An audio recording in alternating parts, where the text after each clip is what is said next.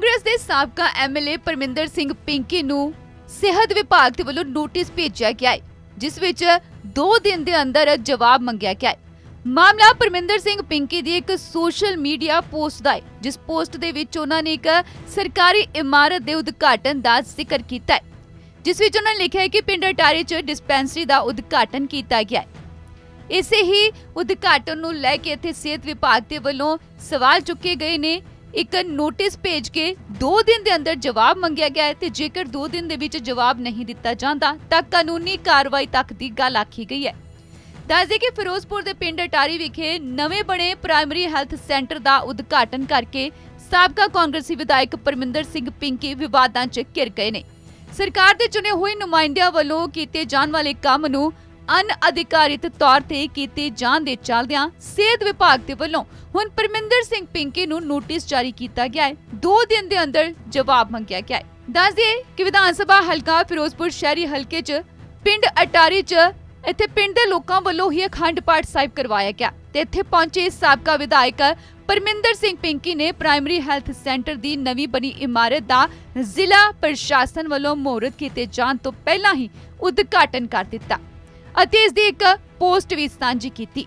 ਇਸ ਪੋਸਟ ਦੇ ਵਿੱਚ ਪਰਮਿੰਦਰ ਸਿੰਘ ਪਿੰਕੀ ਨੇ ਲਿਖਿਆ ਹੈ ਕਿ ਅੱਜ ਪਿੰਡ ਟਾਰੀ ਵਿਖੇ 40 ਲੱਖ ਦੀ ਲਾਗਤ ਨਾਲ ਤਿਆਰ ਹੋਈ ਡਿਸਪੈਂਸਰੀ ਦਾ ਉਦਘਾਟਨ ਕੀਤਾ ਗਿਆ ਅਤੇ ਸ੍ਰੀ ਗੁਰੂ ਗ੍ਰੰਥ ਸਾਹਿਬ ਜੀ ਦੀ ਹਜ਼ੂਰੀ ਵਿੱਚ ਪੀਐਚਸੀ ਦੇ ਸਟਾਫ ਨੂੰ ਸਮੂਹ ਪੰਚਾਇਤ ਵੱਲੋਂ ਚਾਬੀਆਂ ਦਿੱਤੀਆਂ ਗਈਆਂ ਨੇ। ਹੁਣ ਇੱਥੇ ਸਿਹਤ ਵਿਭਾਗ ਦੇ ਵੱਲੋਂ ਨੋਟਿਸ ਲਿਆ ਗਿਆ ਹੈ। ਇੱਕ ਨੋਟਿਸ ਭੇਜ ਕੇ ਜਵਾਬ ਵੀ ਮੰਗਿਆ ਗਿਆ ਹੈ। ਦਰਅਸਲ ਇੱਥੇ ਸਿਹਤ ਵਿਭਾਗ ਪੰਜਾਬ ਤੇ ਡਿਪਟੀ ਕਮਿਸ਼ਨਰ ਪੰਜਾਬ ਨੂੰ ਭੇਜੇ ਨੋਟਿਸ ਦੇ ਵਿੱਚ civil surgeon Firozpur, doctor Rajwinder Kaur ਨੇ ਲਿਖਿਆ ਹੈ ਕਿ ਸਰਕਾਰੀ ਅਹੁਦੇ ਤੇ ਰਹਿਣ ਵਾਲੇ ਅਧਿਕਾਰੀਆਂ ਜਾਂ ਬਿਨਾਂ ਕਿਸੇ ਸੰਵਿਧਾਨਿਕ ਅਹੁਦੇ ਦੇ ਆਪ ਜੀ ਵੱਲੋਂ ਸਰਕਾਰੀ ਇਮਾਰਤ ਦਾ ਉਦਘਾਟਨ ਕੀਤਾ ਗਿਆ ਹੈ। ਸਿਵਲ ਸਰਜਨ ਨੇ 2 ਦਿਨ ਦੇ ਅੰਦਰ ਜਵਾਬ ਨਾ ਦੇਣ ਦੀ ਸੂਰਤ ਵਿੱਚ ਕਾਨੂੰਨੀ ਕਾਰਵਾਈ ਕੀਤੇ ਜਾਣ ਦੀ ਵੀ ਗੱਲ ਆਖੀ ਹੈ। ਦੱਸਦੀ ਕਿ ਉਹਨਾਂ ਦਾ ਚਿੱਠੀ ਦੇ ਵਿੱਚ ਇਹ ਜ਼ਿਕਰ ਕੀਤਾ ਗਿਆ ਹੈ ਕਿ ਸਰਕਾਰੀ ਇਮਾਰਤ ਦਾ ਉਦਘਾਟਨ ਸਿਰਫ ਸਰਕਾਰੀ ਨੁਮਾਇੰਦਾ ਹੀ ਕਰ ਸਕਦਾ ਹੈ।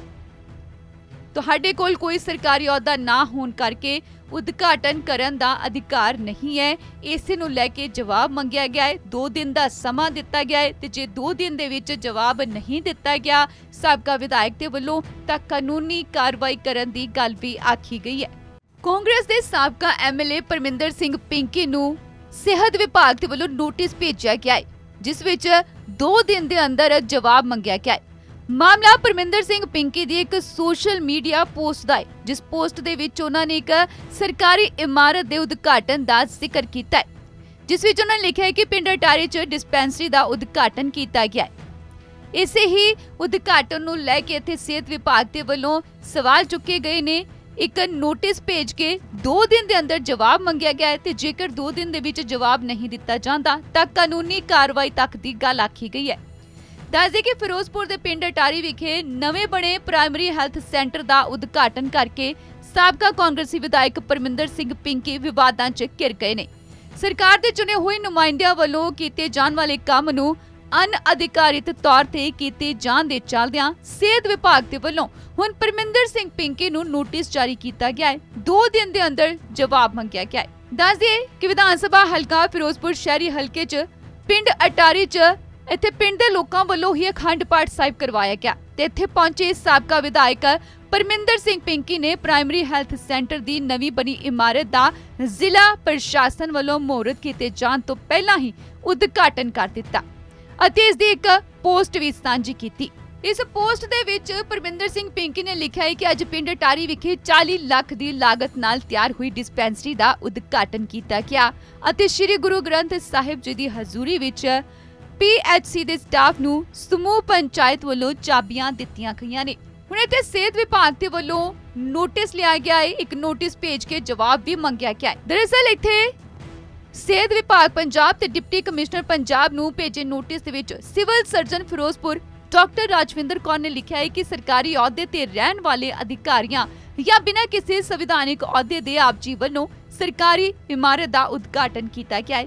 ਸਿਵਲ ਸਰਜਨ ਨੇ 2 ਦਿਨ ਦੇ ਅੰਦਰ ਜਵਾਬ ਨਾ ਦੇਣ ਦੀ ਸੂਰਤ ਵਿੱਚ ਕਾਨੂੰਨੀ ਕਾਰਵਾਈ ਕੀਤੇ ਜਾਣ ਦੀ ਵੀ ਗੱਲ ਆਖੀ ਹੈ। ਦੱਸਦੀ ਕਿ ਉਹਨਾਂ ਦਾ ਚਿੱਠੀ ਦੇ ਵਿੱਚ ਇਹ ਜ਼ਿਕਰ ਕੀਤਾ ਗਿਆ ਹੈ ਕਿ ਸਰਕਾਰੀ ਇਮਾਰਤ ਦਾ ਉਦਘਾਟਨ ਸਿਰਫ ਸਰਕਾਰੀ ਨੁਮਾਇੰਦਾ ਹੀ ਕਰ ਸਕਦਾ ਹੈ। ਤੁਹਾਡੇ ਕੋਲ ਕੋਈ ਸਰਕਾਰੀ ਅਹੁਦਾ ਨਾ ਹੋਣ ਕਰਕੇ ਉਦਘਾਟਨ ਕਰਨ ਦਾ ਅਧਿਕਾਰ ਨਹੀਂ ਹੈ। ਇਸੇ ਨੂੰ ਲੈ ਕੇ ਜਵਾਬ ਮੰਗਿਆ ਗਿਆ ਹੈ। 2 ਦਿਨ ਦਾ ਸਮਾਂ ਦਿੱਤਾ ਗਿਆ ਹੈ ਤੇ ਜੇ 2 ਦਿਨ ਦੇ ਵਿੱਚ ਜਵਾਬ ਨਹੀਂ ਦਿੱਤਾ ਗਿਆ, ਸਾਬਕਾ ਵਿਧਾਇਕ ਦੇ ਵੱਲੋਂ ਤਾਂ ਕਾਨੂੰਨੀ ਕਾਰਵਾਈ ਕਰਨ ਦੀ ਗੱਲ ਵੀ ਆਖੀ ਗਈ ਹੈ।